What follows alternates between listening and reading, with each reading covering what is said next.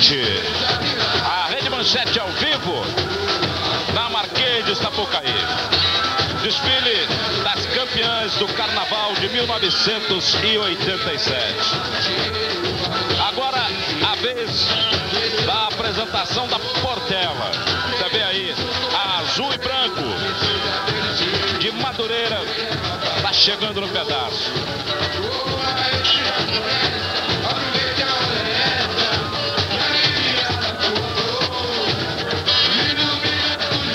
Seu enredo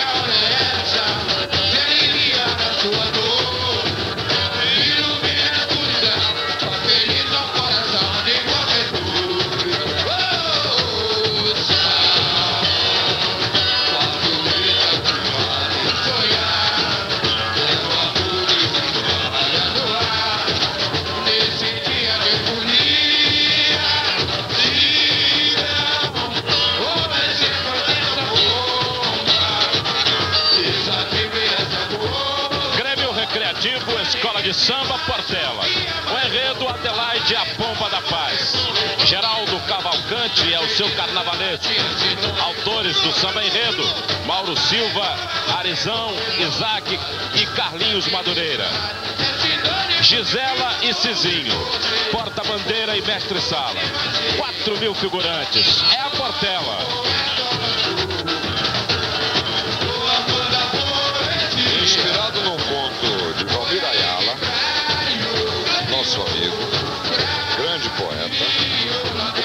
O carnavalesco Geraldo Cavalcante, nosso amigo Geraldinho Samambaia, criou o enredo Adelaide, a Pomba da Paz, para a qual o Azul e Branco de Madureira conquistou, com a qual Azul e Branco de Madureira conquistou o terceiro lugar junto com a sua co-irmã Império Serrano.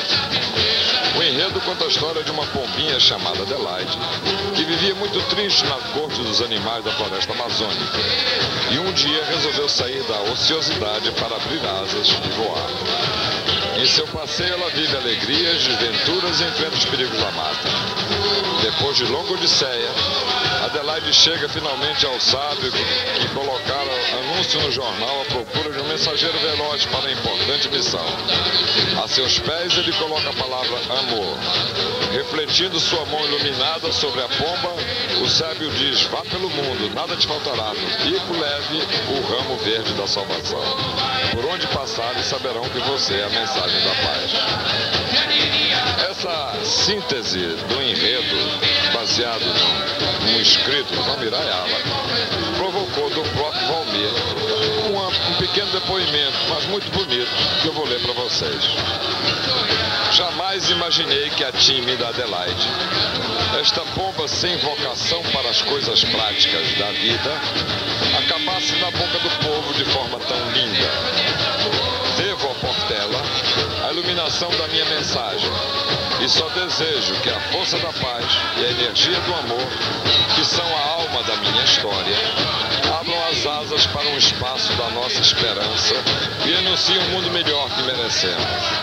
Que a pomba da unida à altivez da águia da Portela, forme uma imagem da força e alegria para todos. Valmir Ayala, 1987.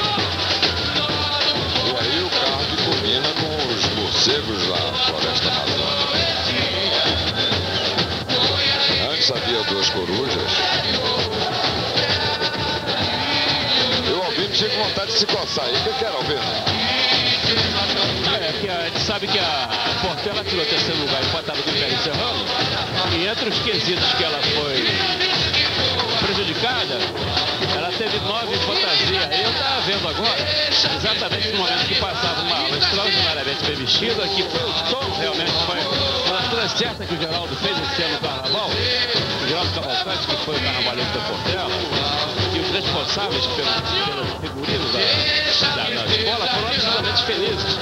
E a Portela teve nota 9. É importante que se registre agora o, o, a, a, esse detalhe do desfile, para depois a gente comparar com as fantasias da Mangueira. A Mangueira teve 10, 10, 10, 10, 10. A Portela teve 9, 9, 9, 9, 10. É só para ver o critério nesse julgamento. Ah, isso essa coisa é boa para que o povo possa fazer comparação em casa. Exatamente, é isso que, é, eu estou sugerindo. E aí, Roberto? Eu estou com o Albino, nós estávamos conversando sobre isso. É, a qualidade, bom gosto, acabamento da Portela são infinitamente superiores à maioria das escolas. Inclusive, a, a fantasia da Portela chega, chega um exagero de capricho, de detalhismo quando você vê de perto. Não podia ter tirado nota 9. Principalmente, é, é, e tem uma coisa, duas das jogadoras, que são duas excelentes profissionais, que eu respeito muitíssimo, Marília Valls, que é uma das mães da moda brasileira em termos de criação, e Bisa Viana, que é uma grande estilista também, mãe e filha, e a Bisa tem muita experiência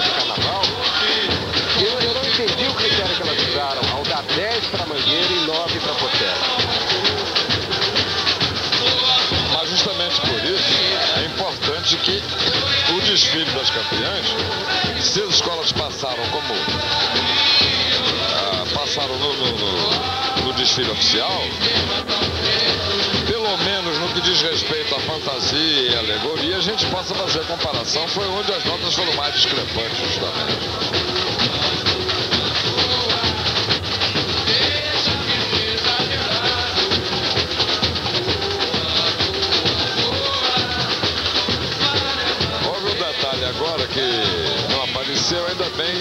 Que apareça não. Aquele boboca daquele beijoqueiro quis se introduzir, como fez em todas as escolas, na Portela também. Acontece que a turma da Portela é mais viva. Muito finamente foi empurrando, empurrando, saindo, saindo, ele pegou, saiu. Eu acho que na saída eles falaram grosso, tanto é que ele não tentou voltar.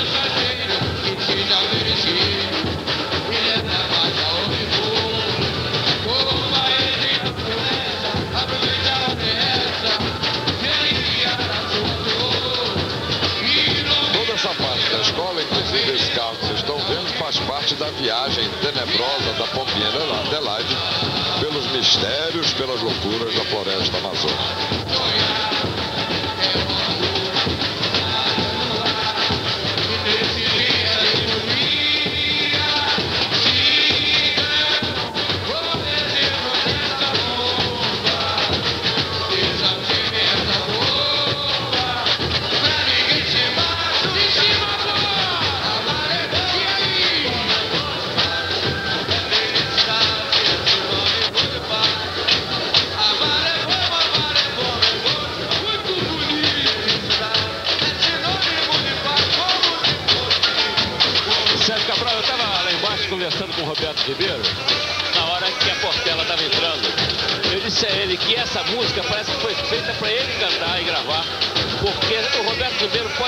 Essa música fora do esquema de carnaval, quer dizer, fora do negócio do desfile, porque ela tem toda uma melodia que a voz dele pode servir como se fosse uma luva, e pode ser uma gravação para Roberto Ribeiro. Roberto, essa música, apesar de você ser imperiano e tudo mais, eu vou te fazer uma sugestão. Primeiro show que eu tiver, que eu vou dirigir com você, eu vou pedir para pelo menos você cante essa música da Portela, que ele ficou tão entusiasmado, ele e o Itaci, que é o, dos diretores de harmonia da, da, da- do Império Serrano, que os dois começaram a, a, a, a sofejar e cantarolar com empolgação tal a beleza melódica da música que a Portela apresentou em 87. Isso revela, Albino, que você é um.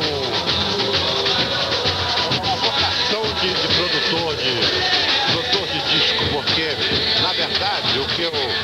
Esse samba da Portela, eu, eu acho o melhor samba enredo do ano. É claro, eu gosto muito do samba enredo do Martinho. Gosto muito, eu acho que o samba enredo do Martinho é um samba antológico, o samba da Unida e Isabel. Mas esse samba da Portela é fantástico. E é o samba, como o samba do Martinho, ele tem algumas passagens, é, é, eu diria até audaciosas, do ponto de vista do desenvolvimento melódico.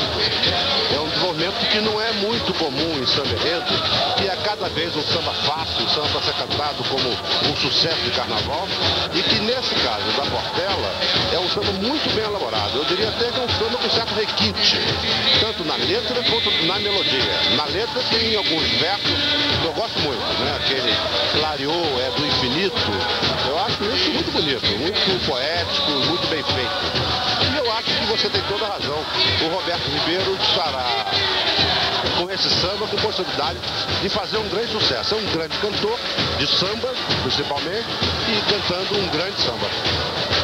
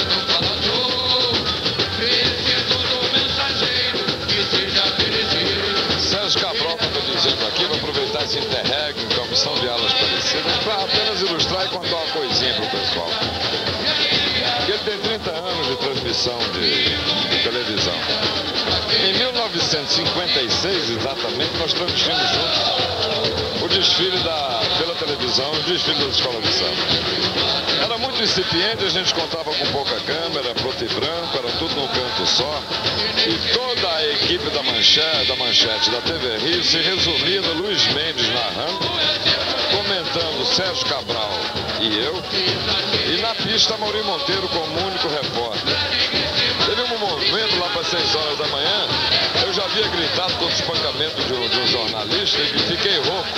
E o Luiz Mendes foi dar uma voltinha, não sei porquê. Olha, a gente sabe, mas não precisa dizer. E de repente o microfone ficou na mão do sujeito que era Gago, que era o Sérgio Cabral, e do Rouco, que era eu. E o Mauri apanhando a polícia na pista. Você já viu a transmissão, como é que foi feita na época. Fazia por sua conta em Copacabana o desfile das campeãs no sábado, em plena Avenida Atlântica, ali no posto C na TV Rio.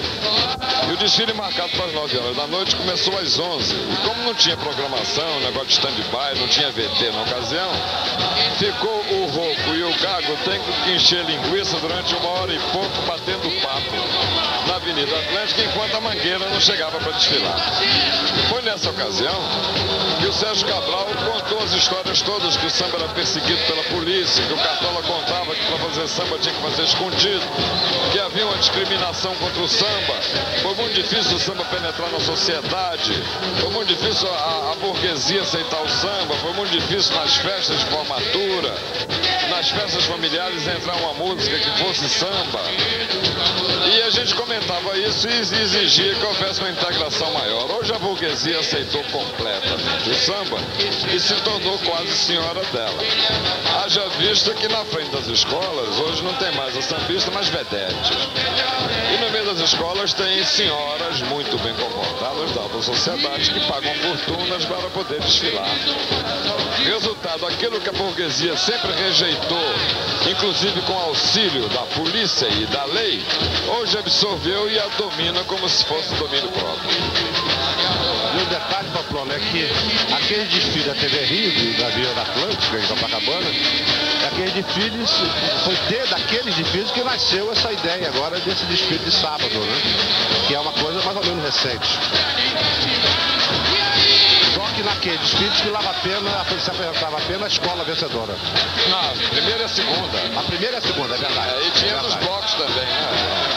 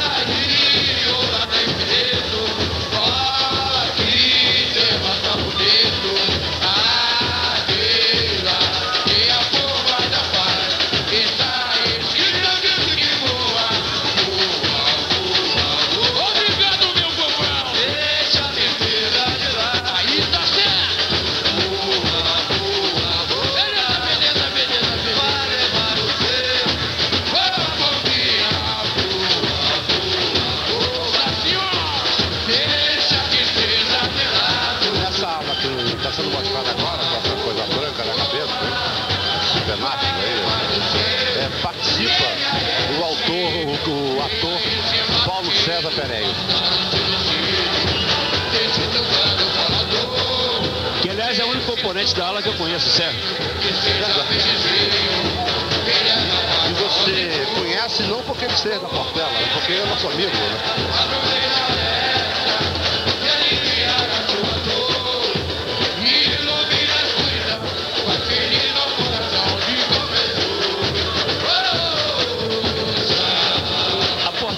Seja o maior exemplo vivo do que o Pamplona falou há pouco, quer dizer, que a burguesia que recusava o samba se asfigurou dele.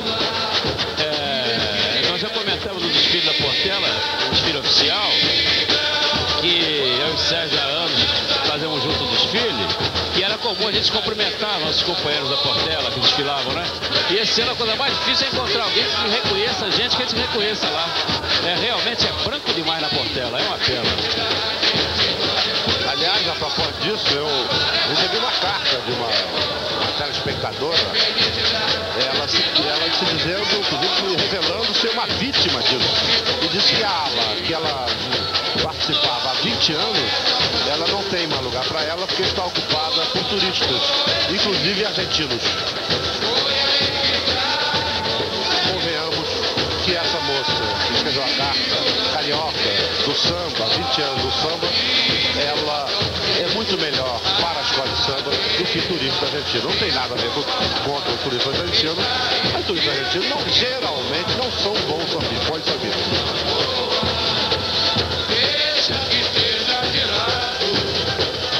Eu vou contar uma historinha, já que a gente está na reminiscência. Em 69, quando Salgueiro ganhou com o Pai de Todos os Deuses, eu tomava umas canas no botiquim atrás da- do Teatro Novo, onde o Salgueiro foi todo feito, com um cara da Portela, muito bacana. E acabou o desfile do Salgueiro, eu fui pra lá, encontrei ele tomando umas cervejinhas, tomando cerveja junto. Ele disse, olha, parabéns, o Salgueiro foi formidável. Digo, é mangueira. Naquele tempo havia assim, a escola campeã que recebia encher. Todo mundo, toda a burguesia queria passar na escola que tivesse sido campeã. E no ano anterior tinha sido a mangueira campeã. Eu perguntei, a manga, como é que foi? Ele disse, ah, Fernando, a gente se procurava e não se encontrava. Tinha tanta coisa estranha no meio que a gente se procurava e não se encontrava. É por isso que vocês não estão encontrando muita gente aí,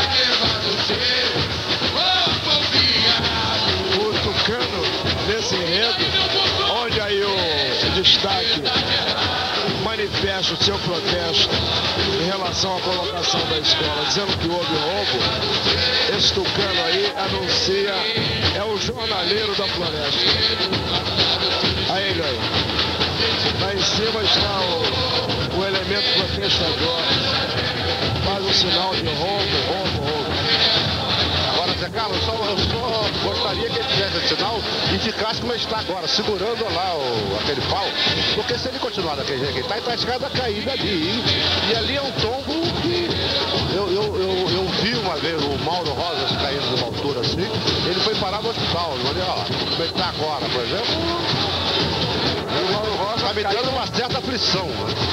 E o Mauro Rosa caiu num colchão de plumas. E a fantasia dele o protegeu de pior.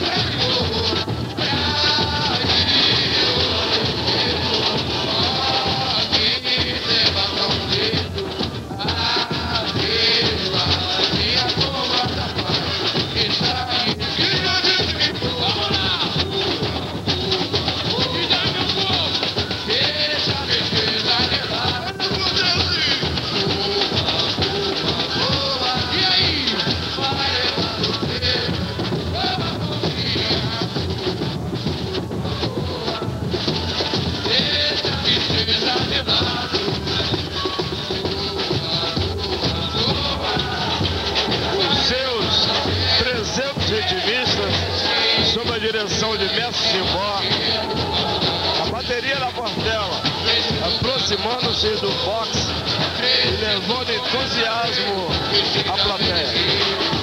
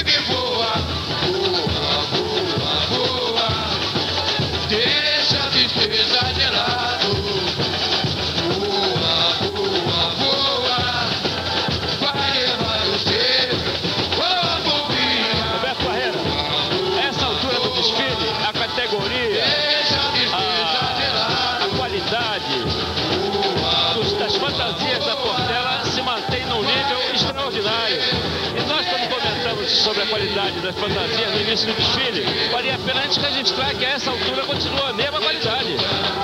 Exatamente, mas é, é, eu, eu confirmo o que disse. A Portela é uma das escolas que tem mais capricho na sua fantasia. A fantasia é cara, eu estou por dentro dos preços, tem fantasia de 5, 6 mil cruzados. Agora, vale porque usa pena verdadeira, é uma coisa bem acabada. Além, de, além do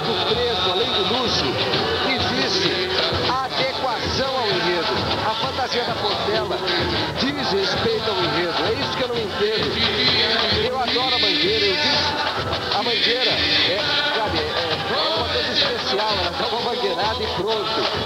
Mas a Mangueira apresentou alas que simplesmente repetiram fantasias do ano passado. Porque ano passado